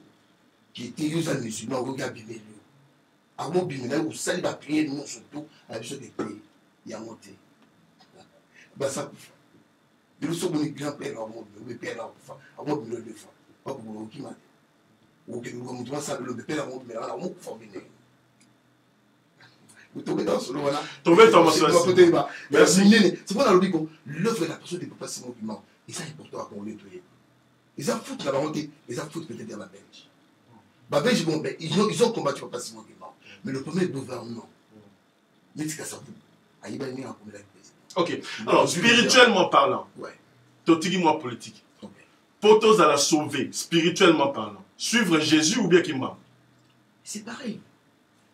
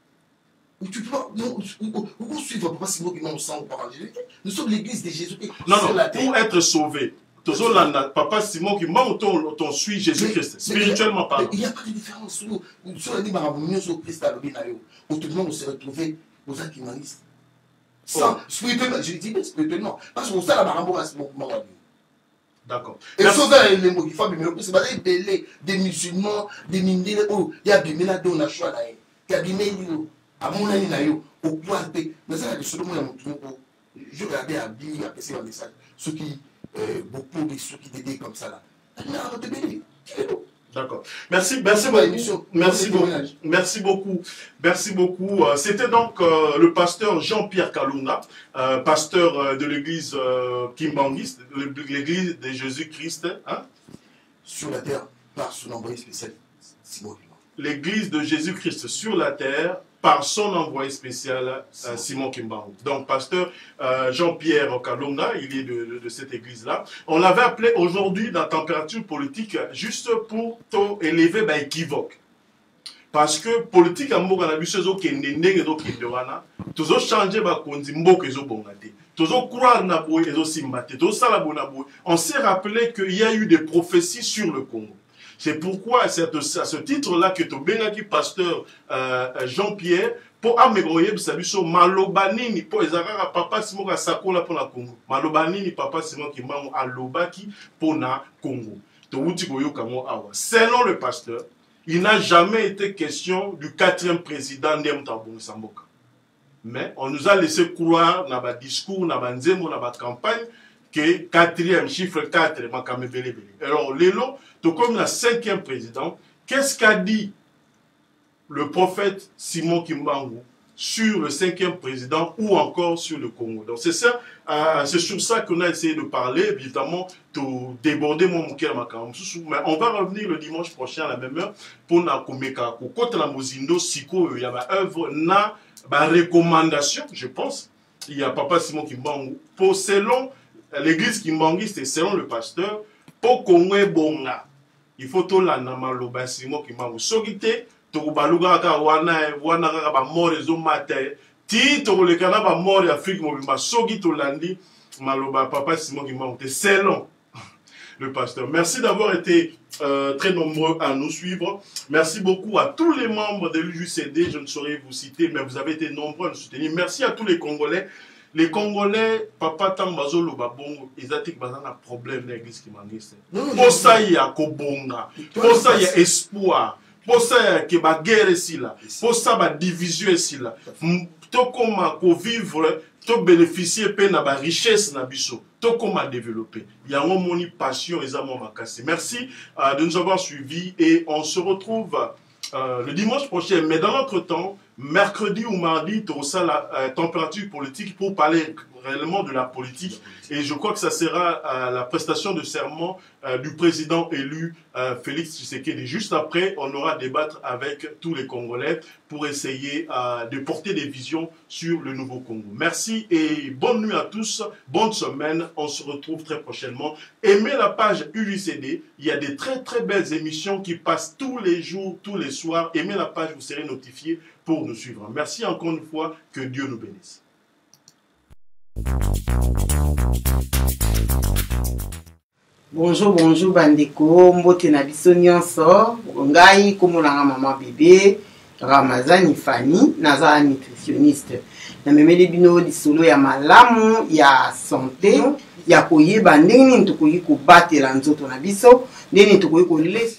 hmm.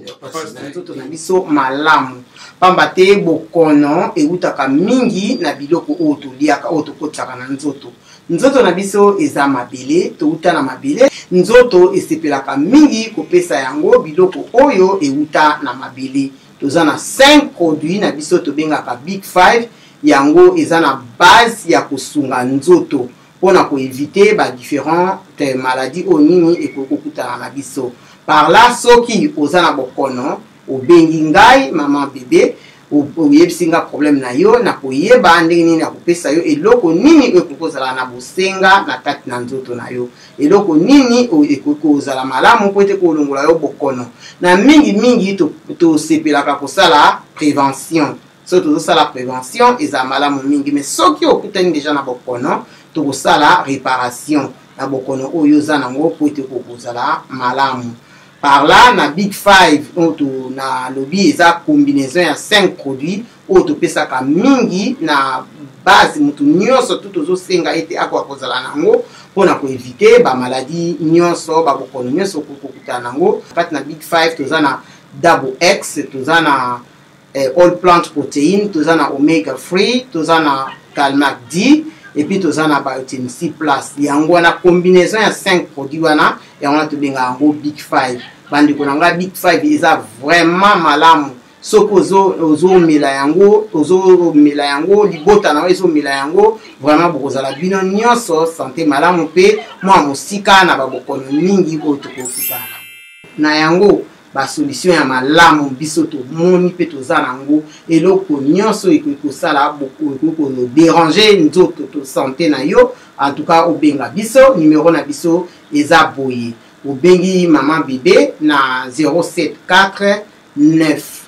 20 48 568 na bande lisusu nimero na nga ezali 074 920 48 568 soki obengi nga wana okozwa nga na aire nyonso oyo osepeli kobenga nga en tout cas toza wana mpona kopesa basolution na bokono oyo ekoki kotungisa biso pour toutes les personnes ayant des problèmes de santé de maladies cardiovasculaires ou autres telles que l'hypertension le diabète l'asthme le fibrone un taux de cholestérol élevé un cancer Contactez Maman Bébé Ramazani pour réparation à bas prix et à court terme. Merci de votre confiance.